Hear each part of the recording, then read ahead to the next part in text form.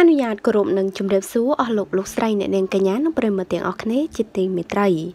មនឹកស្មានអុកសគុណកញ្ញាខំធ្វើការចង់ដាច់ខ្យល់ក្រោយសម្រាលកូនលទ្ធផលចុងក្រោយ បានត្រឹមតែខកចិន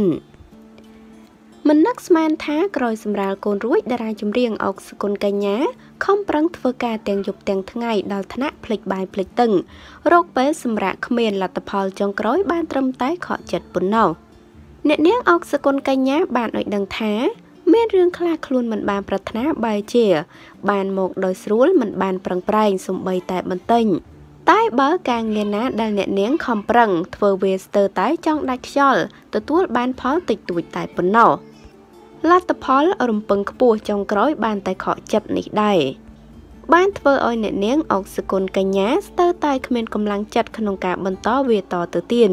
តែគ្មានជំរឿនអ្នកនាងមានតែធ្វើបន្តទោះបីជាមានរឿងអ្វីក៏ទទួលយកវាទុកជាមេរៀនជាចុងក្រោយអុកសគុណកញ្ញាថាអញ្ចឹងពេលនេះមានតែឈប់ពិចារណាច្រើនហើយ មានអីធ្វើនឹងទៅចង់មែនចង់បានចង់ល្អខំទៅ គេមិនប្រើក៏ប្រឹងធ្វើទៅទៅគេមើលឃើញយើងអូខេសូមចប់ត្រឹមនឹងរាត្រីសួស្តី សាកដាស់តឿនខ្លួនឯងមុនចូលគេង ចាមិនដឹងថាមានបញ្ហាអីនោះទេបានជាអ្នកនាងអុកសគុណកញ្ញាបង្ហោះសារប្លែកប្លែកបែបនេះដែលទំនងជាបញ្ហាគ្រួសារនិងបញ្ហាការងារហើយមើលទៅ ពីព្រោះថាអ្នកនាងតាំងពីសម្រាលកូនរួចយើងឃើញហើយថាគឺមមេញឹកជាមួយនឹងការងារខ្លាំងតែម្ដង ទាំង sport ពាណិជ្ជកម្មបើកសម្ពោធហាងជាពិសេសនោះឥឡូវគាត់បានឡើងឆាកតន្ត្រីវិញថែមទៀត ចាហើយតេតងនឹងព័ត៌មាននេះដែរក៏សូមបញ្ចប់តែត្រឹមនេះឥឡូវយើងងាកមកតាមដាននឹងព័ត៌មានថ្មីមួយទៀតដែលតេតងទៅនឹង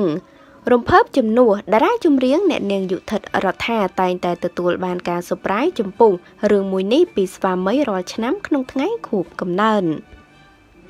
ប្រិមិត្តជាច្រើនពិតជាមានការចាប់អារម្មណ៍ជាខ្លាំងដោយតារាចម្រៀងយុធិតរដ្ឋាតែងតែរំភើបចំពោះទង្វើរបស់លោកខុមពុនណដែន ជាស្វាមីដែលតែងតែសប្រាយខួបកំណត់ចំពោះនាងជារៀងរាល់ឆ្នាំទោះបីជា លោករវល់នឹងការងារក៏ដោយជាក់ស្ដែងទោះបីជាកម្រនឹងរៀបចំពិធីខួបកំណើតអធិកអធមដោយមិត្តភ័ក្តិដតីក៏ពិតមែនតែតារាចម្រៀងយុធិតរដ្ឋាតែងតែបង្ហាញអារម្មណ៍រំភើបនិងកក់ក្ដៅដោយនាងទទួលបានការ surprise ជាពិសេសពីស្វាមី គឺលោកខុំពុនដែតនៅបាច់ផ្កានិងនំខួបកំណើតដ៏ស្រស់ស្អាត លើកនេះក៏មិនខុសពីរាល់ឆ្នាំយុទ្ធរដ្ឋាទទួលបាននៅការ surprise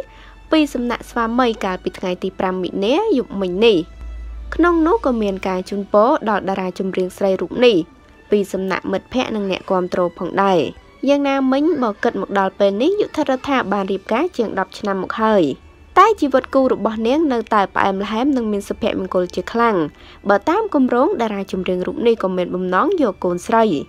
មួយបន្ថែមទៀតដែលនាងរំពឹងថានឹងបានដូចបំណង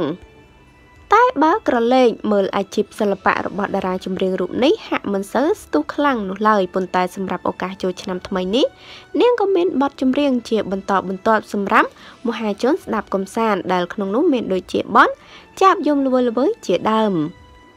ចាននាងយុធិតរដ្ឋាពួកគាត់រៀបការជាង10ឆ្នាំហើយ ជាមួយនឹងលោកខុមពុនដែតប៉ុន្តែចំណងស្នេហារបស់គាត់គឺនៅតែផ្អែមល្ហែមដដែលជារៀងរាល់ឆ្នាំស្វាមីគាត់តែងតែបង្ហាញនៅការ surprise នៅបាច់ផ្កានំខូបកំណត់និងកាដូផងដែរដែលពិតជាធ្វើឲ្យមនុស្សស្រីជាច្រើនលួចច្រណែននឹងជីវិតរបស់អ្នកនាង